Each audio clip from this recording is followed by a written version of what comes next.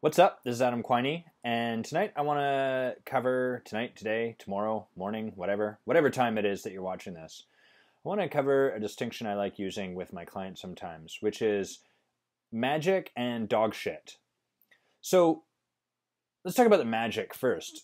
Coaching produces magic, and the thing about magic is that it only looks like magic in foresight after you've gone through the process, you can see, wow, that wasn't magic at all. And what we do as coaches is we take people's hard lines, the rules that they've created in their world that they view as concrete, and we help them see first that those rules are even there. Because for the most part, the rules are here. People can't see them. They actually live their life with those rules inside their head. So we pull those rules out here so they can actually see it. And then we have them move just a little bit to the side and give them just a glimpse of the fact that actually that rule doesn't have to dictate my world. And there's a whole realm of possibility outside of this box that my rule creates. So, for example, maybe people have this idea like, boy, I'd love to do this thing, but I can't. I can't. I just can't do it because of money. Money is a common place people get stopped in their lives. And so we might take a look at that and see, wow, the you start to explore with them and find out well, look, Adam, here's the thing. I, I would never take on debt because debt means X, Y, Z, A. It means that I'm lackadaisical. It means that I'm failing. It means that I am irresponsible. I mean, it means all of these things. And so we might say, well, wow, so it seems like there's this relationship to debt, like you could just never take on debt. And then they might argue, well, there's certain places where debt's okay, like student loan is okay and mortgage your house, but only those places. And if we can just raise them up out of this box so that they can see some other possibility, that's where the magic happens. Because suddenly, what was previously confined by the confines of this box is no longer so. That's the magic. That's the magic of coaching.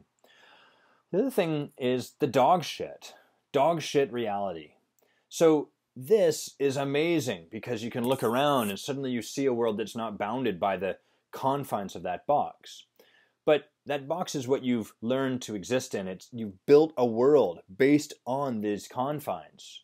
Everything that's had you get here and that now holds you in place, it's also what you've learned to rely on. And so the dog shit nature of coaching is it, it's exactly that. It's the dog shit reality. It's the fact that even after the magic, you still have to take those shitty steps. You still have to be willing to actually do the difficult action. So we might pull that person out and have them see like, holy cow, I could take on some debt, I could borrow some money, I could find a whole there's all these ways I could create the money. But it still requires them taking action to move towards what they want. And that's going to require maybe taking on debt or maybe talking to the person that's uncomfortable or maybe facing the rejection that they don't want to face. And that's the dog shit nature of, uh, or sorry, the dog shit reality of this part. It's the part that people can get caught wanting just more magic. They're like, no, just keep my head out of the box. I just want to keep looking. And that isn't the way it works. It's not just a game of awareness. Certainly, a lot of us become awareness junkies, and you see this often when people uh, read a lot of self help books but never work with a coach, where they're like, wow, I see so much and so much action, and I'm practicing so much. But they're, all they're really doing is practicing inside of the confines of their box because you can't see the thing you're, you're trying to see through. And awareness feels good, but it doesn't really move us towards what we want. So, coaching brings those two things together. It creates the magic by letting us see something that's possible that wasn't before.